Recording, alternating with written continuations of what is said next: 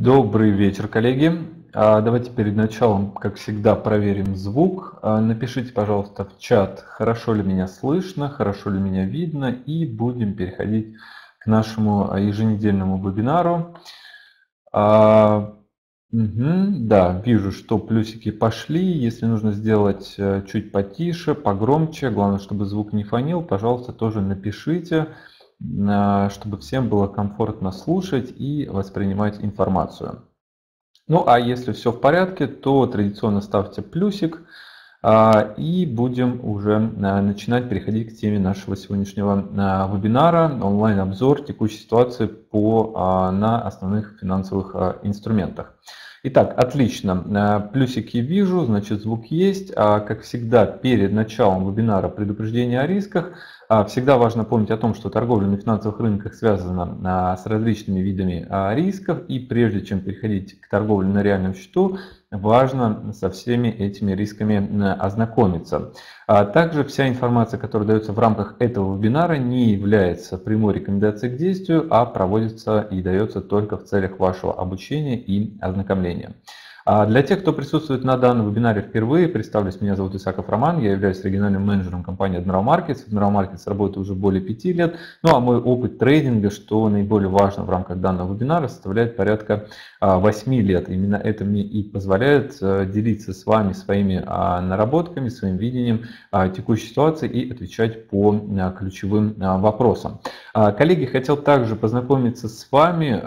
Меня в первую очередь интересует э, то а, те участники, которые у нас присутствуют впервые на данном формате вебинара, а, Пожалуйста, а, напишите цифру 1, кто пришел на данный вебинар впервые. Я буквально несколько слов скажу о том, как у нас проходит работа, да, о структуре вебинара и что мы, собственно, здесь каждый понедельник в 19.30 по Москве делаем.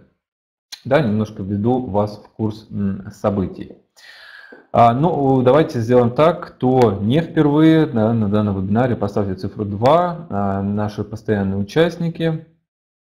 А, Максим, не поверю, что вы в первый раз. Наверное, для того, чтобы показать, что есть участники, кто присутствует впервые. Да, отлично. Да, вижу по именам большое количество участников, кто а, присутствует уже давно, постоянно. Данный формат вебинара мы ведем уже уже более года тот вебинар, на котором мы как раз а, делаем ориентиры на предстоящую неделю по основным финансовым инструментам. А, итак, коллеги, сориентирую а, вас, да, еще раз напомню тем, кто, возможно, пропускал данные вебинары. Мы рассматриваем рынок на предстоящую неделю, основные инструменты, валютные пары, индексы, криптовалюты, также не так давно мы включили, с перспективой движения на предстоящую неделю. А весь разбор идет по а, безиндикаторным способам торговли, то есть а, с элементами price action, ну и основными паттернами, которые мы можем уже выделить, исходя из поведения цены. С какими-то из этих паттернов, которые для меня являются значимыми, я также делюсь и уже более подробно, когда перейдем к разбору инструментов, я расскажу. А, у нас данный вебинар, во-первых, проходит не просто, да, ну, то есть я не только рассказываю информацию, но и всегда приветствую а, формат вопрос-ответ. Поэтому если у вас а, появились какие-то вопросы, которые хотелось бы задать по текущей ситуации, по каким-то торговым идеям, по каким-то торговым решениям, то вы их обязательно пишите, во-первых, в чат, чтобы мы смогли их сегодня а, в ходе нашего вебинара обсудить. Ну и все вопросы, которые у вас появляются уже а, после, да, после данного вебинара, к примеру, к следующему вебинару, который будет в следующий понедельник, а, вы всегда можете писать мне на почту roman.isakov.sobaka.admiralmarkets.com, вот в чат я приложил, и задавать ваши вопросы. Также по работе компании Admiral Markets ваши вопросы приветствуются.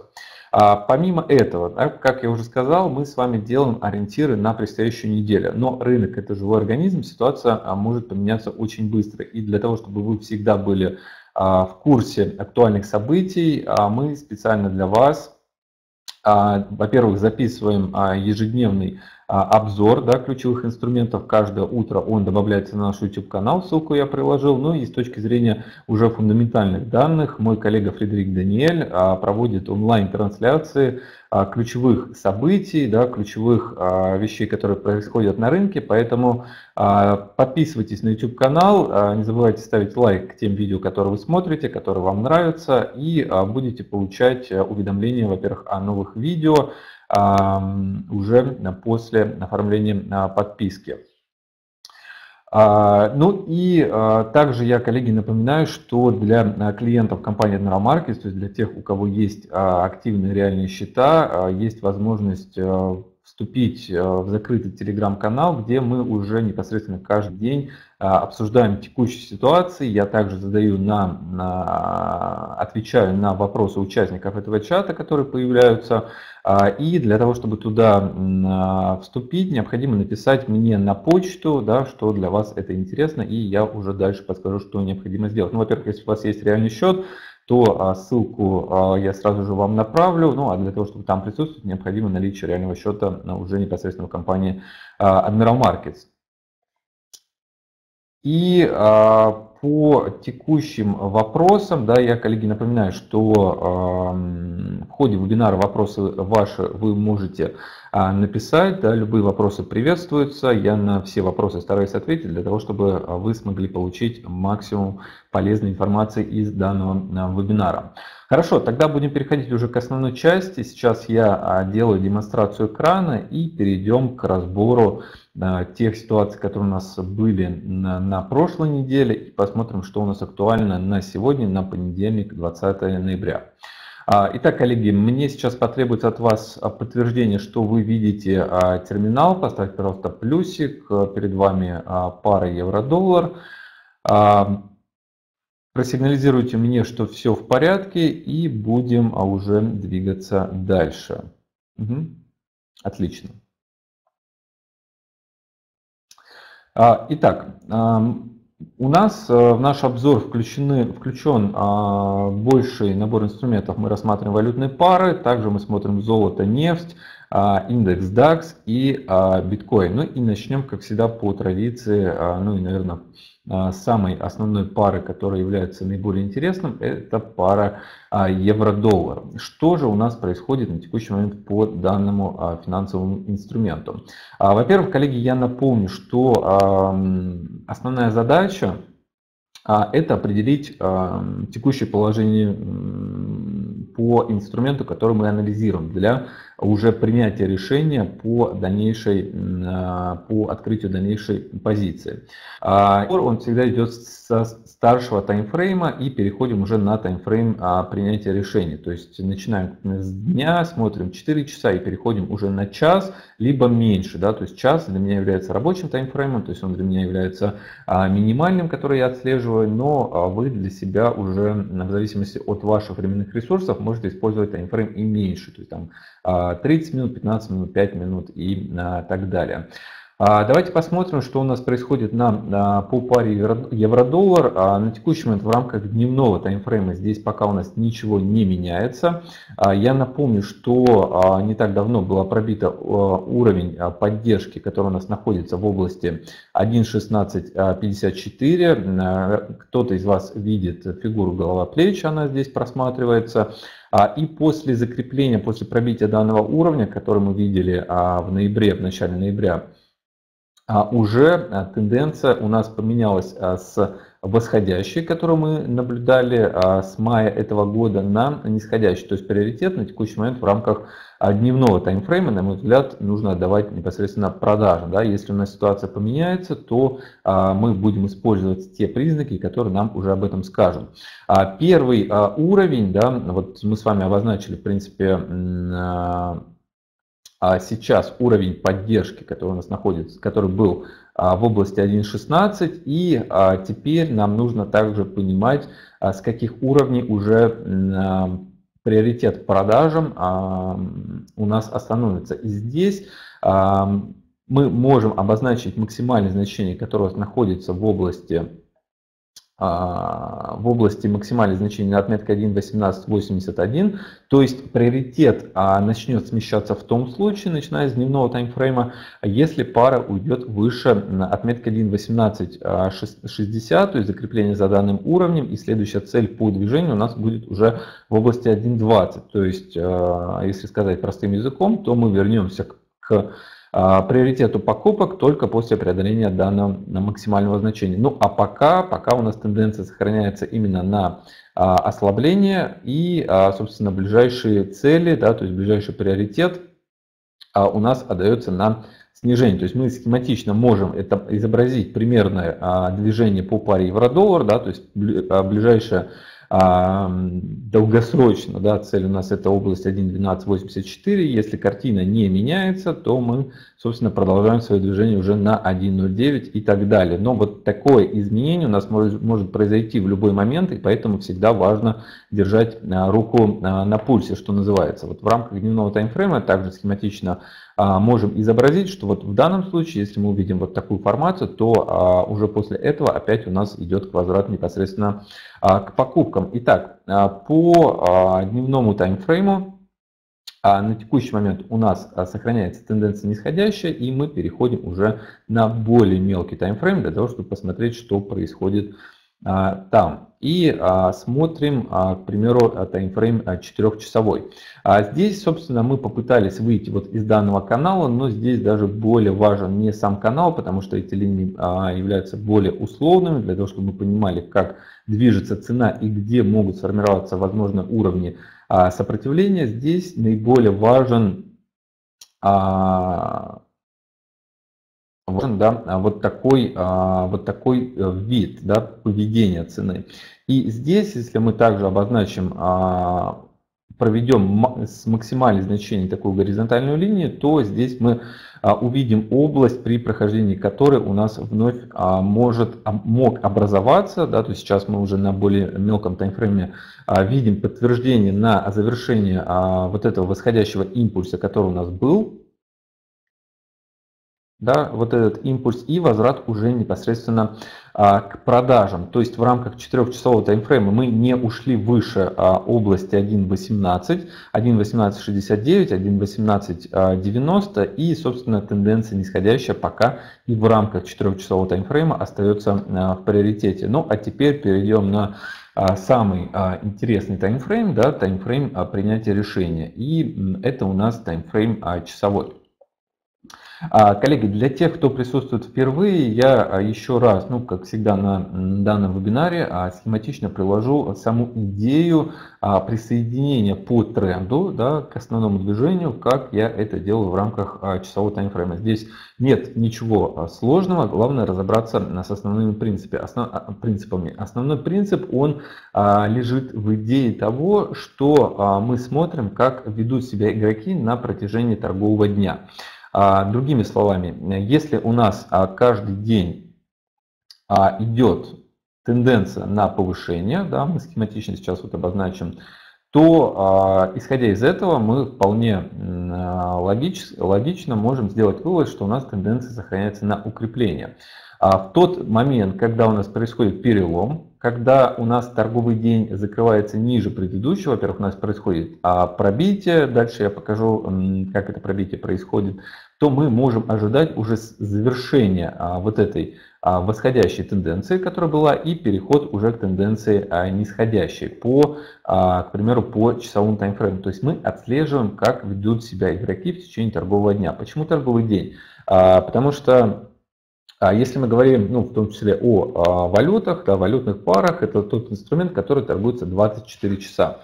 То есть а, мы можем 24 часа а, в сутки да, в рабочие дни отслеживать то, как себя ведет инструмент. И если в какой-то момент мы получаем уже а, ситуацию, при которой продавцы да, или покупатели начинают перехватывать инициативу, то а, с большей а, вероятностью данная ситуация уже получит а, следующее развитие, особенно если у нас была сначала тенденция восходящая, да, вот как, как, к примеру, а, последний участок а вот здесь я обозначу, да, то есть здесь мы а, росли, я примерно схематично обозначил, а потом уже а, мы получаем следующее подтверждение на начало тенденции нисходящей. То есть вот отсюда уже возврат а, начала движения в рамках часового таймфрейма в сторону уже более крупных становится более а, вероятным.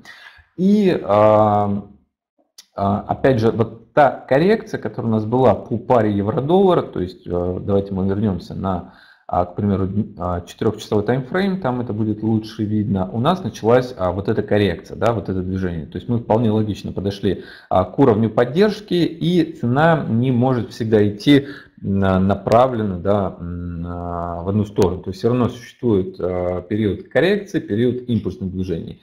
И уже в рамках четырехчасового и дневного таймфрейма вот это движение у нас является коррекцией. То есть наиболее интересным является та ситуация, при которой мы видим, когда, ну, точнее, получаем первый а, сигнал о том, что коррекция заканчивается, и мы присоединяемся уже к этому движению. То есть на импульсе входим а, в сторону продолжения данного коррекционного движения.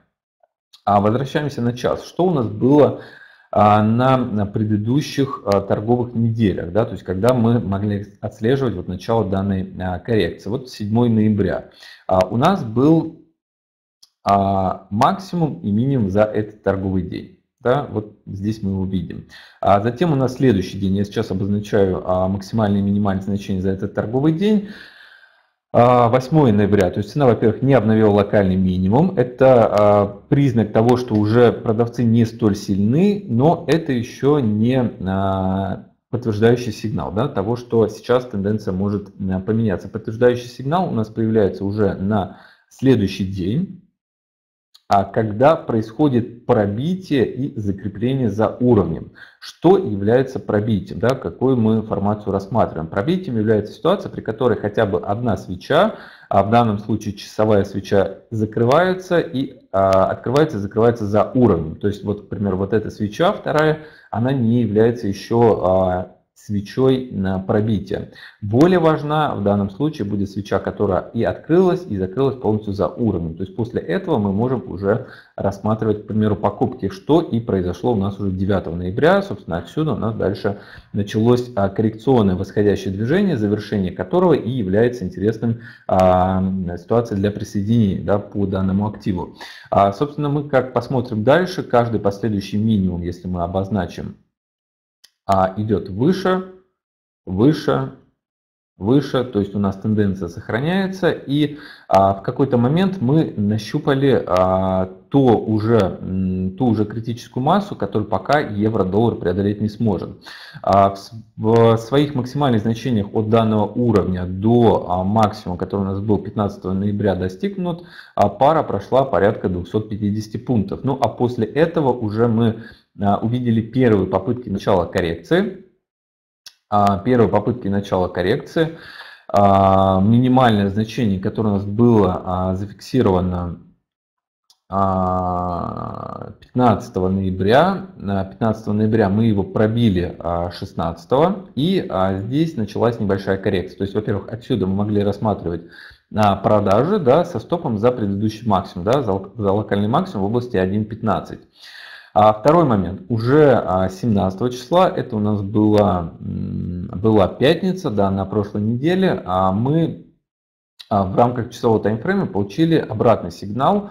Мы а, обновили максимальное значение, закрепили за этим уровнем, и в рамках часового таймфрейма у нас вновь образовалась а, предпосылки на покупку, но а, в рамках максимального значения, с которого пошла эта коррекция, мы не ушли. То есть в рамках более старшего таймфрейма, например, 4 часов у нас здесь ничего не поменялось. То есть тенденция также началась к снижению. Но те, кто рассматривает, например, вход на часе, да, затем выход при появлении противоположного сигнала, то здесь вполне осознанно мог произойти выход да, из данных позиций и далее уже а, ожидание следующего сигнала, который появился, а, собственно, сегодня. Да, вот сегодня с открытия мы опять ушли а, ниже минимальных значений, которые были у нас, а, ну, во-первых, а, в пятницу да, и в четверг а, скорректировались, не ушли выше максимальных значений, которые у нас были в пятницу. И, собственно, вот сейчас мы получаем следующий импульс по нисходящему движению, по продолжению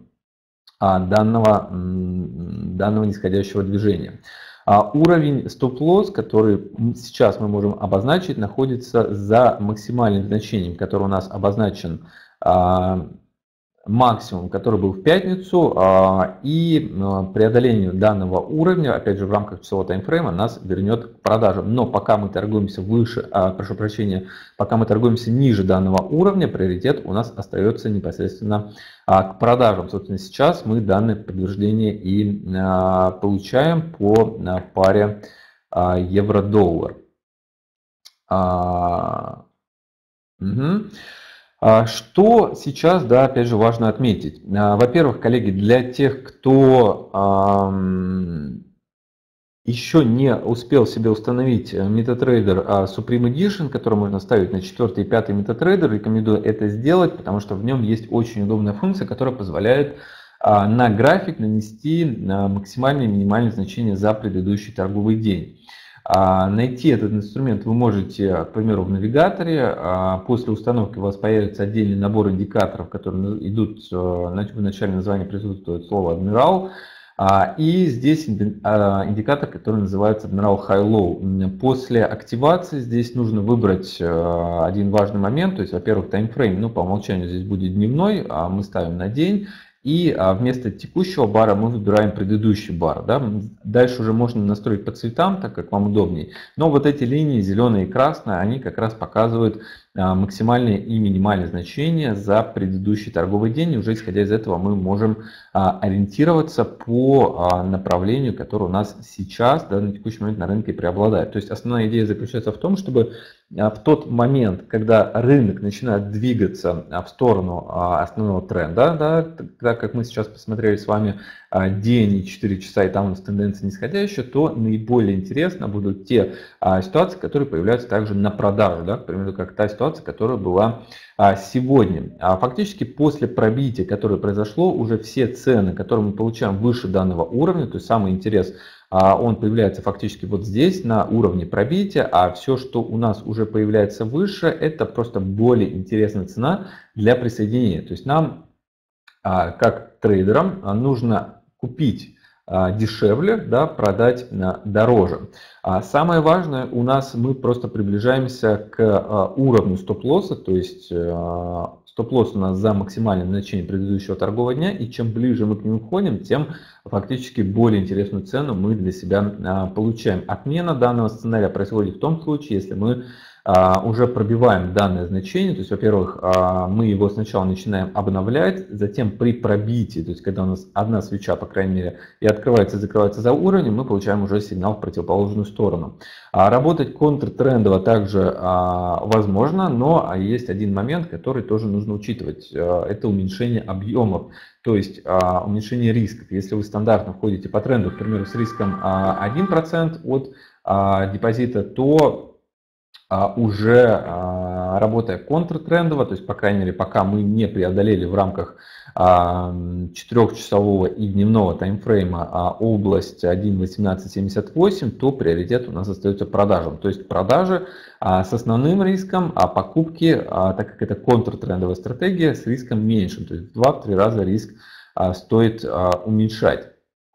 Так вот, что у нас, собственно, на текущий момент происходит, это а вероятность снижения в область 1.1563, то есть то минимальное значение, которое у нас было зафиксировано 7 а, ноября, там у нас и находится а, среднесрочная цель по данному движению. Собственно, с текущих уровней э, снижение также остается возможным, но также напоминаю, что очень, важен, очень важна точка входа. Как правило, используется, например, если мы находимся, вот э, вы открыли а, график, да, как я, к примеру, сегодня а, утром, и, а, собственно, мы видим, что цена уже прошла данный уровень, где для нас наиболее приемлемая точка для присоединения, то есть куда цена может скорректироваться. Первая вероятность коррекции – это уровень пробития, то есть то минимальное значение, которое у нас было, к примеру, 16 ноября, мы скорректировались вот в 10 часов по терминальному времени, а, немного ушли за этот уровень, но это для нас и не является критичным. То есть насколько будет выше эта коррекция, мы а, ожидать не можем. Конечно, если вы открыли терминал там а, в 11-12 часов, видите, что точка для входа уже более приемлема, то можно входить с текущих уровней, так как соотношение риск-прибыль будет максимально интересным. В данном случае, если мы рассмотрим да, потенциал движения а, при входе, к примеру, а, с позиции а, ну, э, тех, тех свечей, которые появились у нас там, в 11-12 часов, то мы вполне могли войти с риском порядка 40 пунктов, а цель по движению порядка 220. То есть мы получаем соотношение чуть больше, чем 1 к 5. И именно такие сделки являются интересными. Сейчас, если мы посмотрим, фактически у нас цена, ну, ничего не поменялось, да, мы также продолжаем свое движение вниз, но если входить с текущих цен, то уже соотношение получается 90 а, пунктов потенциальный стоп-лосс а, и порядка 180 потенциальный take-profit, то есть уже один к двум. И в этом как раз и заключается основной интерес, то есть войти по а, более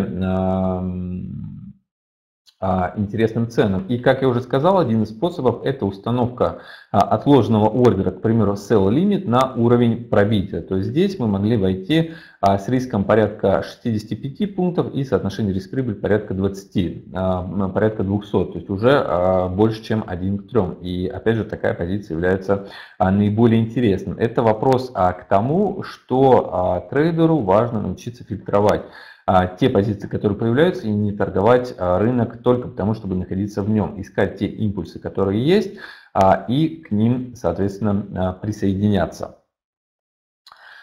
Движемся дальше. Дальше у нас на очереди пара британский фунт, британский фунт, американский доллар. В рамках дневного таймфрейма пока у нас тенденция сохраняется на укрепление.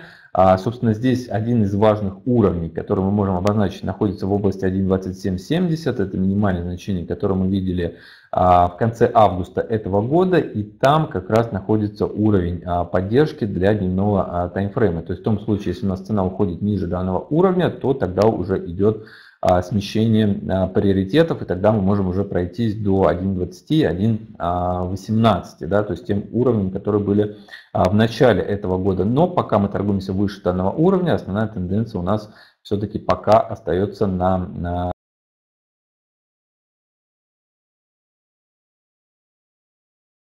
движение, которое было на фоне Brexit, и постепенно а, восстанавливаемся. А здесь более важно, хочу обратить ваше внимание на тот ценовой диапазон, который лучше всего прослеживается в рамках а, 4-часового таймфрейма. А диапазон именно в области, а, давайте я его обозначу, вот данный ценовой диапазон, в котором мы находимся уже а, начиная с начала октября, а, верхняя граница а, это область 1.33.35, нижняя граница область 1.30.35. А, диапазон движения порядка 300 пунктов. И, а, собственно, в рамках 4-часового таймфрейма для продолжения, опять же, покупок нам необходимо увидеть закрепление выше данного уровня, чтобы дальше мы могли ожидать эту пару уже на отметке 1.35. Сейчас мы движемся вот в таком небольшом канале, и пока у нас остаются, к примеру, покупки, то вот такие зоны, которые у нас были Э, образованы зоны минимальных значений а, по а, британскому фунту является наиболее интересным для покупок. А вот здесь, да, опять же, покупать не самое интересное. Возможно, возможно, в этих уровнях будет более логично открывать сделки на продажу, потому что пока по фунту у нас а, все-таки сохраняется боковик, да, сохраняется боковое движение. И чем ближе мы а, подходим к этому уровню сопротивления, тем менее интересными становятся, к примеру, покупки. А дополнительные покупки уже с целями там, на 1.35, а, к ним стоит вернуться в том случае, когда мы уже закрепимся и пробьем данный уровень. Но пока вот нужно быть аккуратным как раз к подходу к области 1.3320. А, собственно, сейчас мы и в рамках часового таймфрейма продолжаем это движение а, восходящее, которое у нас началось, а, началось у нас на прошлой неделе. Последний импульс, да, который у нас был, это обновление максимальных значений, которое мы видели в четверг, 16 ноября. В пятницу мы их еще раз обновили, то есть закрепили за этим уровнем и дали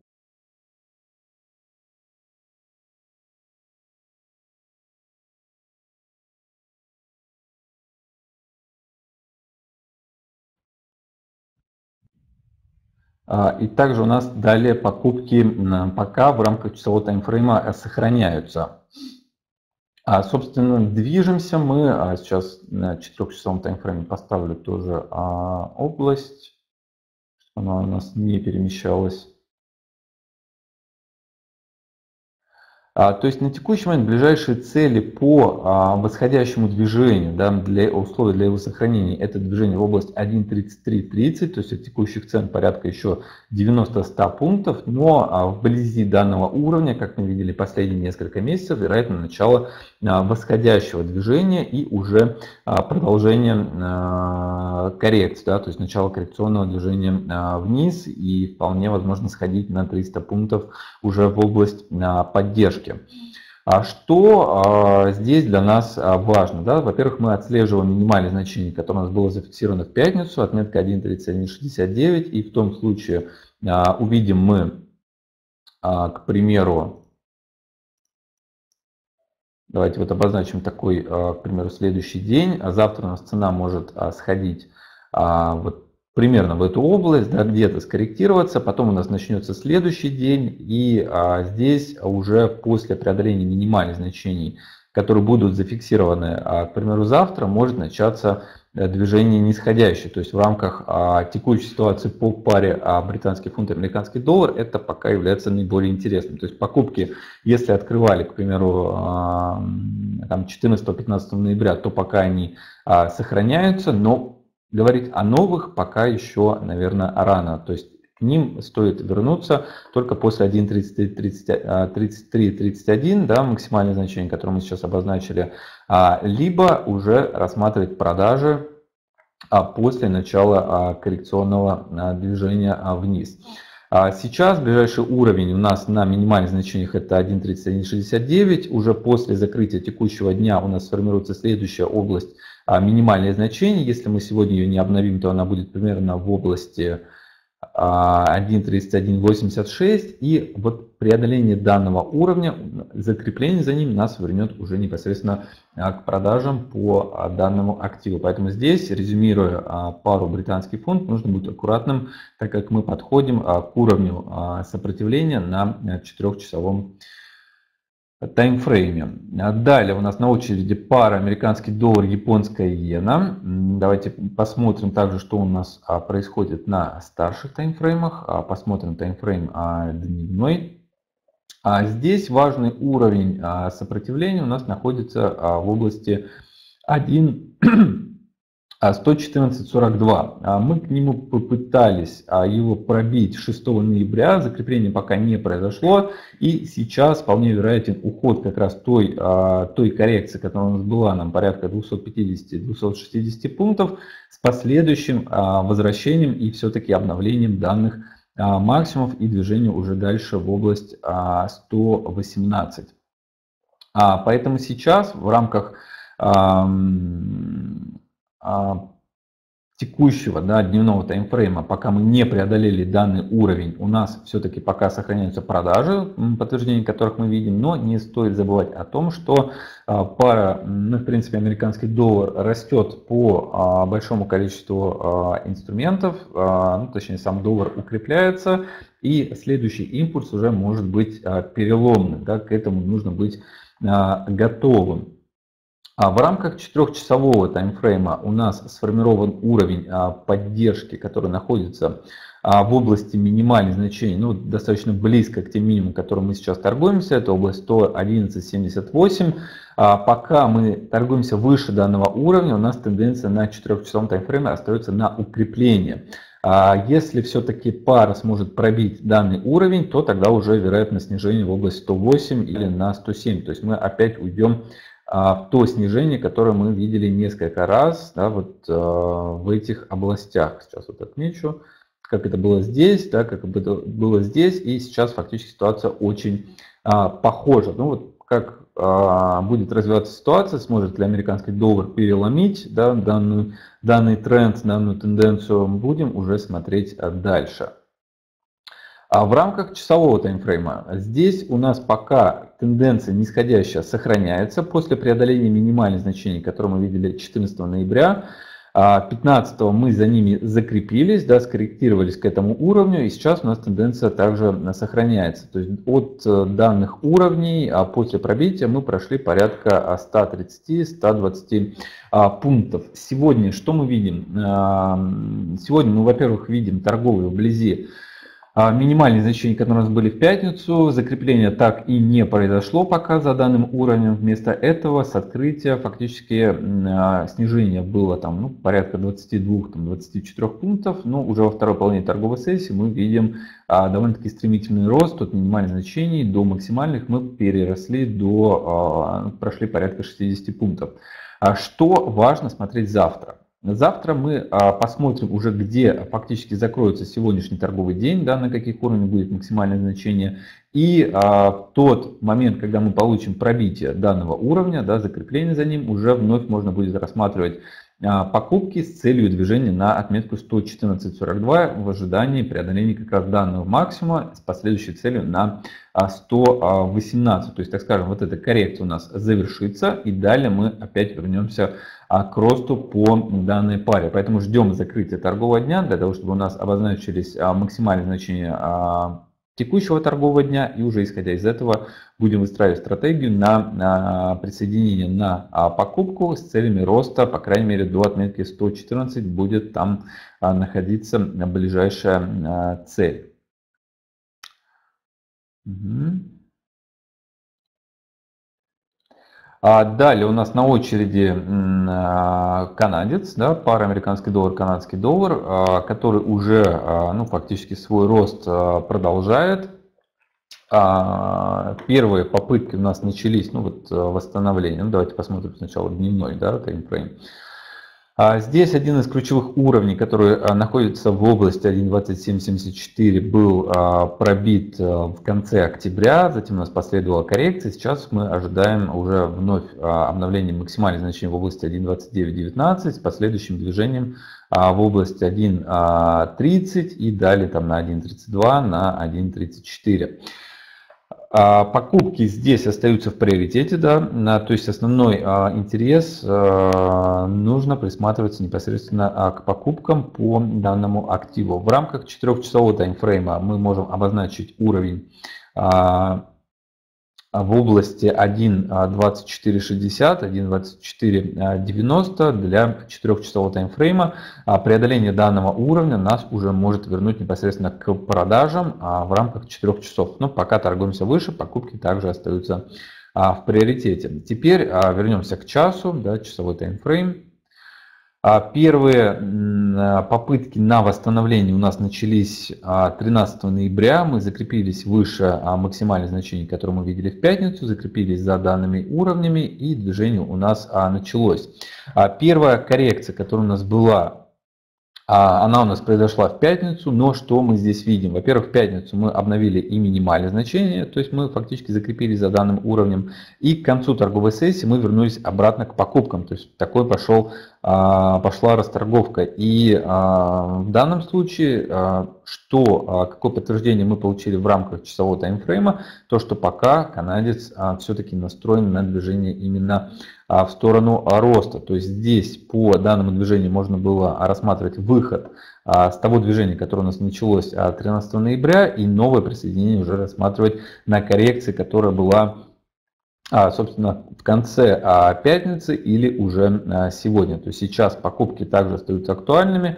Ближайший уровень стоп-лосс, который на текущий момент мы можем обозначить, находится на минимальных значениях пятницы по, в области 1.2713. Пока торгуемся выше данного уровня, покупки также у нас остаются в приоритете. То есть продолжает американский доллар свой рост. Ну, как, какие будут у него успехи, будем уже смотреть а дальше. А следующий у нас инструмент это пара австралийский доллар, американский доллар в рамках дневного таймфрейма. А что интересного здесь можно обозначить? Возврат к продажам у нас на дневном таймфрейме произошел после преодоления минимальных значений, которые мы видели в области, ну, в середине августа, отметка 78.09, пробили данный уровень, скорректировались и, собственно, на текущий момент до минимальных значений прошли уже порядка 250 пунктов. То есть пока тенденция на ослабление австралийца по отношению к американскому доллару получает свое подтверждение. Ну и уже в рамках, опять же, часового таймфрейма, последний импульс, который у нас начался, это обновление минимальных значений 2 ноября, то есть фактически начиная с 3 ноября уже более двух торговых недель подряд у нас тенденция сохраняется на ослабление. И из данных уровней мы прошли порядка 120 пунктов. И пока здесь также ничего не меняется. Ближайшие цели это обновить минимальные значения, которые у нас были в пятницу для подтверждения следующего импульса. Ну а возврат к покупкам уже будет э, более актуален а, ну и начало коррекции может произойти в том случае, если пара сможет закрепиться выше максимальных значений, которые у нас пока обозначены а, максимум пятницы, закрепиться за этими уровнями и далее уже пойти а, корректироваться. Но завершение этой коррекции будет наиболее интересным для присоединения с целью более крупного снижения по уже данному активу. Пока здесь тенденция не меняется уже, как я уже сказал, практически две недели австралийский доллар у нас снижается. А далее, еврофунт. А по паре еврофунт на прошлой неделе, 16 ноября, мы получили а, в рамках часового а, таймфрейма завершения того восходящего движения, которое ему предшествовало, мы закрепились ниже минимальных значений 15 ноября. И, собственно, сейчас уже последние три торговые сессии мы, данная тенденция сохраняется.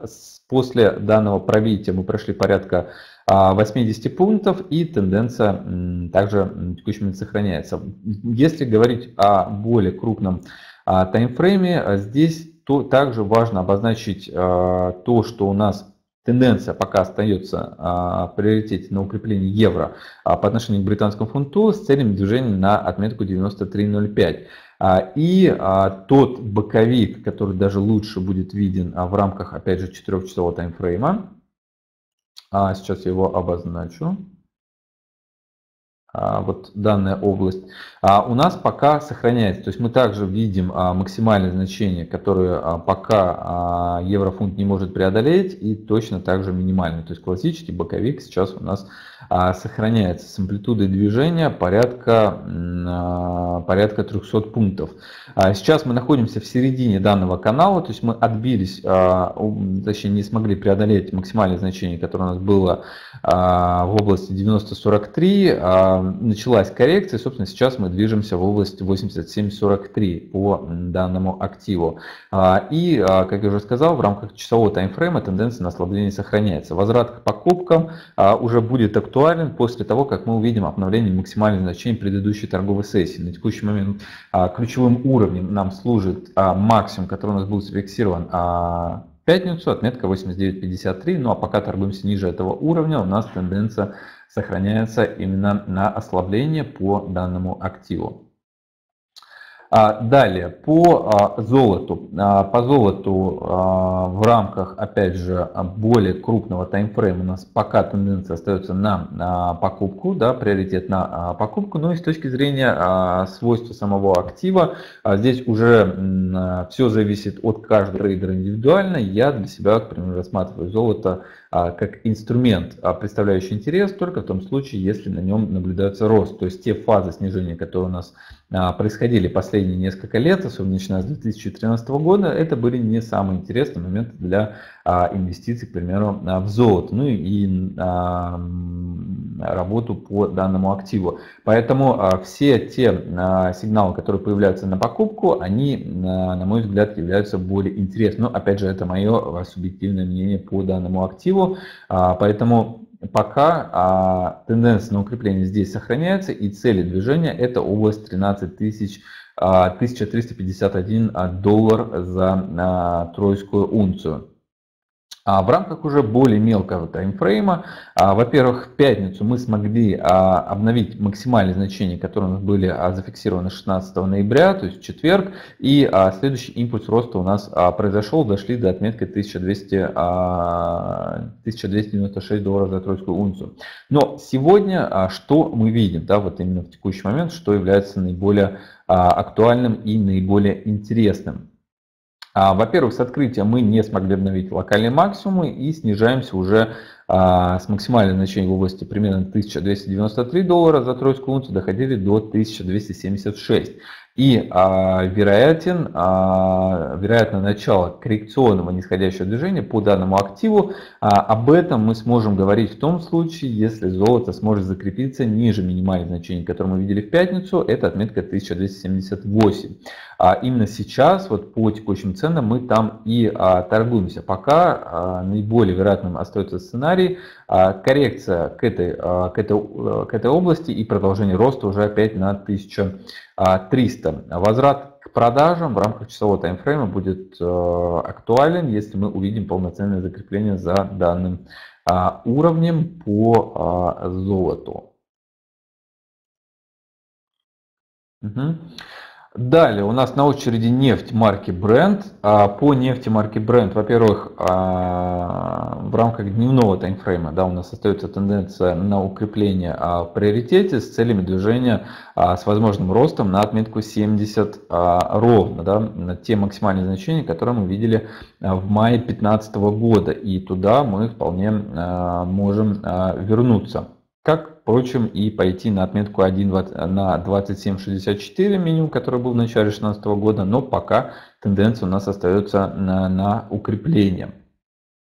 А, собственно, в рамках часового таймфрейма мы видим а, завершение той коррекции, которая у нас началась на а, прошлой неделе, точнее началась она у нас 8 ноября, это была а, позапрошлой неделе. И а, в пятницу мы увидели завершение вот этой коррекции, которая была, доходили до отметки 61.24. А, в пятницу смогли обновить максимальные значения, которые мы видели в четверг. И, собственно, вот с этих уровней уже идут покупки. Покупки сейчас также остаются актуальными до тех пор, пока мы фактически не преодолели минимальные значения а пятницы в области 61.23 с текущих цен их также а, можно рассматривать с целями, с ближайшей целью движения на 64.80. А, сейчас импульс Резюмируя, да, по нефти марки Brent, часовой таймфрейм, импульс пока у нас сохраняется на укреплении. Но как будет закрыт сегодняшний торговый день, уже будем смотреть завтра. И на нашем YouTube-канале завтра, как всегда, в ежедневном обзоре данная информация будет предоставлена. По индексу DAX, да, инструмент, ну, Впрочем, как многие индексы являются интересными, то есть э, тем трейдерам, кто не хочет торговать какие-то конкретные акции, всегда интересно использовать э, производные инструменты, да, как в том числе индекс DAX, S&P 500, Dow Jones. То есть DAX 30 инструмент, в который входят э, 30 э, крупнейших компаний э, Германии, да, локомотива европейской экономики. А, собственно, в начале ноября мы видели новый исторический рекорд, отметка 13531, после которой у нас началось а, коррекционное нисходящее движение, которое и продолжается до сих пор. А, Сегодня мы уже а, торгуемся, а, торговались ниже минимальных значений, которые были зафиксированы в пятницу, пробили отметку а, 12970, закрепили за этим уровнем и вновь сейчас вернулись в рамках часового таймфрейма к продажам по данному активу. А, ближайший а, разворотный уровень у нас находится на максимальном значении, которое мы видели 16 и 17 ноября. То есть возврат к покупкам а, будет актуален тогда, когда а, мы увидим, что индекс DAX закрепился выше отметки 13090. Но пока а, мы торгуемся ниже данного уровня, тенденция на ослабление у нас а, сохраняется и находится в приоритете с целями движения на по снижению это отметка 12860 и далее уже на 12696. А, ну и а, биткоин, а, биткоин продолжает свой рост. Вот сейчас буквально мы с вами опять же в очередной раз становимся свидетелями исторического, исторических максимумов по этому инструменту. Сейчас мы дошли уже до отметки 8228 долларов за один биткоин. Начало последнего импульса, последнего роста у нас обозначено пробитием а, максимальных значений 12 ноября, то есть завершение а, коррекции, которая была с исторических максимумов, да, скорректировались практически с 7800 до 5400 и уже возобновили рост, то есть закончилась коррекция, перешли вновь к фазе роста, после которой мы преодолели уже порядка 2000, да, ну, чуть меньше, а если а, измерять уже стоимость самого биткоина, то есть практически на 20% а данный инструмент у нас вырос, а, начиная с 13 ноября. И, собственно, тенденция а, к росту все так же и а, сохраняется. Ближайшие уровни поддержки находятся на минимальных значениях, которые мы видели вчера, в воскресенье, в области 7660, то есть начало коррекции, а, соответственно, завершение которой позволит присоединиться вновь на покупки по данному инструменту уже а, может быть, но только после обновления минимальных значений, которые мы видели а, вчера а, в области 7660. Сейчас покупки остаются в приоритете, ну и, собственно, биткоин продолжает свой рост. Угу. Итак,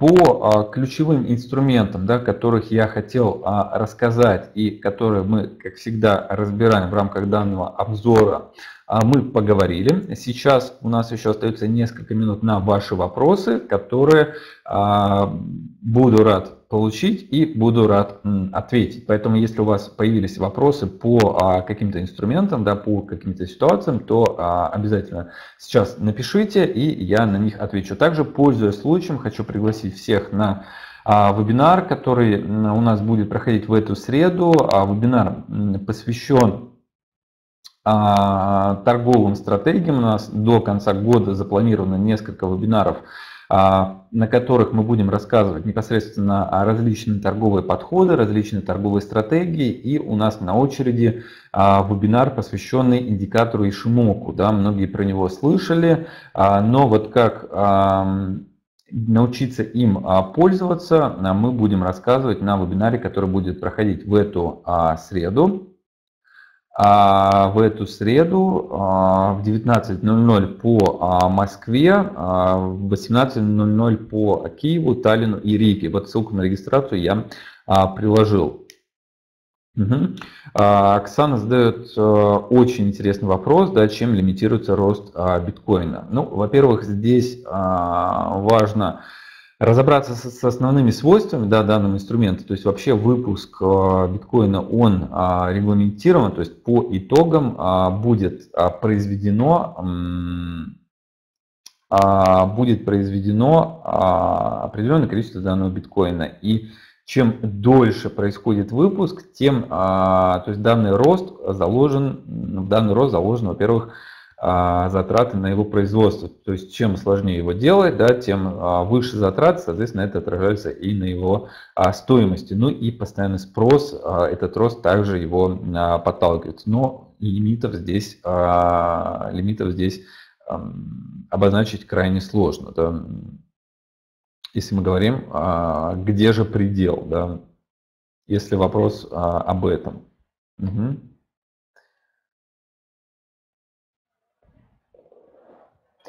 А, итак, коллеги, есть ли у вас еще вопросы? А, а, вот Алекс пишет, деревья не могут расти до а, небес, а больше шкаф, тем громче падает. Ну, я думаю, что вот этот момент нужно адресовать, во-первых, э, госдолгу США, в первую очередь, э, потом передать привет э, всем производным инструментам, которые той же страной были а, произведены, да, все, а, все деривативы, которые были выпущены, ну и потом уже можно будет вернуться к биткоину, да, потому что здесь, а, как показывает в этом, практика в этом, пока там деревья растут и, собственно, облака просто расходятся, да, пропуская эти деревья.